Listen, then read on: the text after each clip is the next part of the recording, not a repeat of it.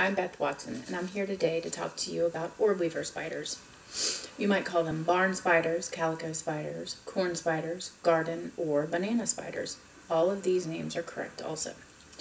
They get the name orb weaver because of the shapes of the webs they make. They have eight eyes and eight hairy or spiny looking legs. You can most easily tell females from males due to their size differences. The females can be up to nine times larger than the males. There are more than 4,000 different species of orb weavers worldwide, with 180 of them found in North America. This here is a species of golden orb weaver that passed away and was found in Bulloch County, Georgia. It's about four hours south of Atlanta. Her lifespan runs about 12 months, and she probably ate thousands of mosquitoes during that time. I found this beautiful yellow garden spider in my very own garden right here in Atlanta. She did an excellent job of protecting my lemon balm from beetles. This one is called a spiny-backed orb weaver, and as you can see, they get their name from the little spikes that protrude from their abdomen. They kind of look like a tiny crab. I also found this one here in Atlanta.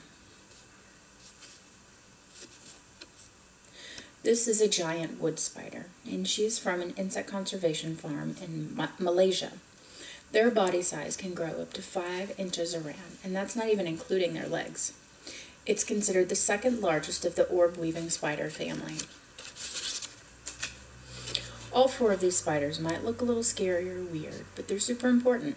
They'll eat all sorts of little things that want to eat up your garden like flies, mosquitoes, moths, beetles, wasps, lizards, and sometimes, if the spider's large enough, snakes and birds.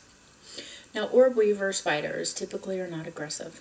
They won't chase you or try to bite you, and are really more afraid of you than you are of them. Their venom is used to kill their prey. To humans, a bite would feel painful like a bee sting, but not poisonous, so it's best just to let them be. Also, did you know that Charlotte from Charlotte's Web was an orb weaver spider? That's how she was able to weave such beautiful patterns and words into her web for Wilbur to read.